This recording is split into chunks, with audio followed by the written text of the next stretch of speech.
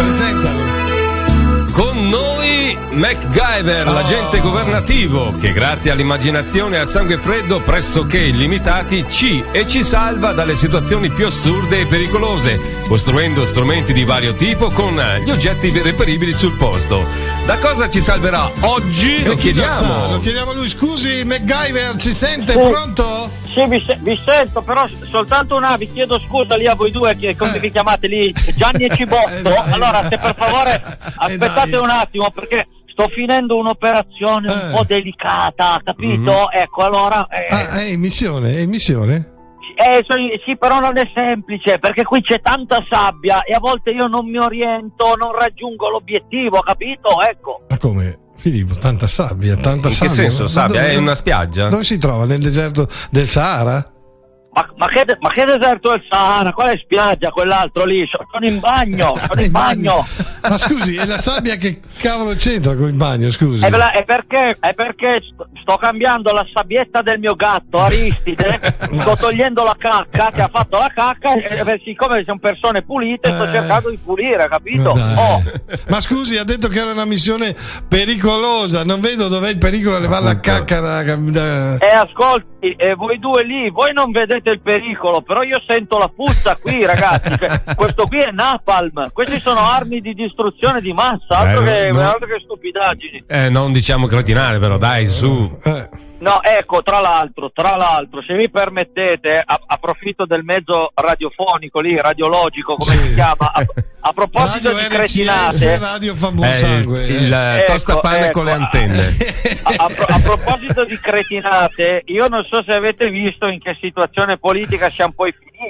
Eh eh? beh, sì, Conte Eh. ha dovuto abbandonare, non ce l'ha fatta. Sì, dai. lo so, lo so, infatti so che volete fare un po' di cultura, la faccio anch'io, c'è scritto un libro anche Calvino su Conte che ha abbandonato, sa? Un, un libro, quale? Sì, sì.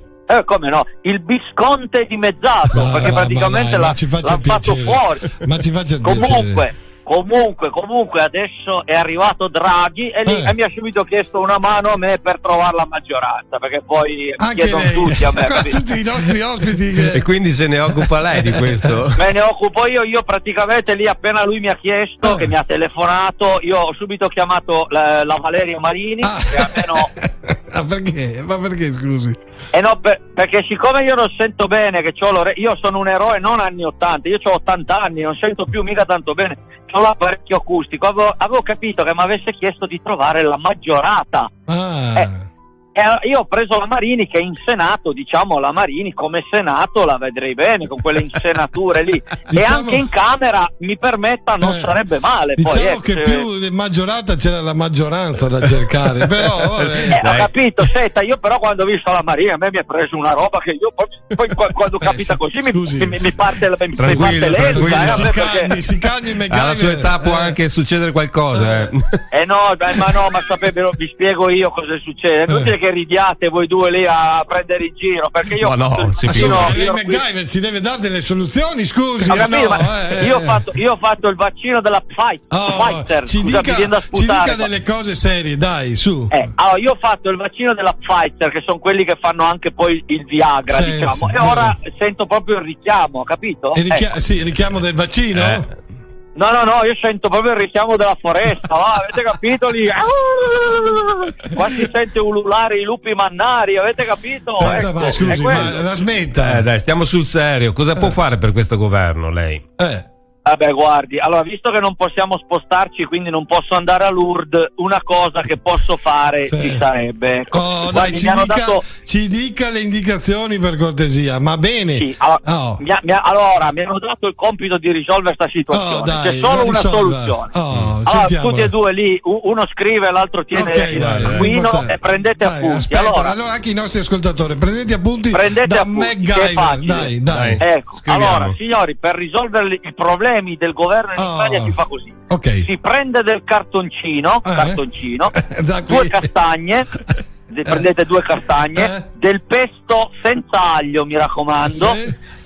tre mattoni e un martello. Ecco qua. Perfetto. Ecco qua. Eh, e poi, E poi E, e poi, oh, ma devo dire proprio tutto allora. E poi, poi si strappa il cartoncino, Eh? Si buttano via le castagne, Eh? si usa il pesto per fare la pasta, Eh? i mattoni per fare un muro e via.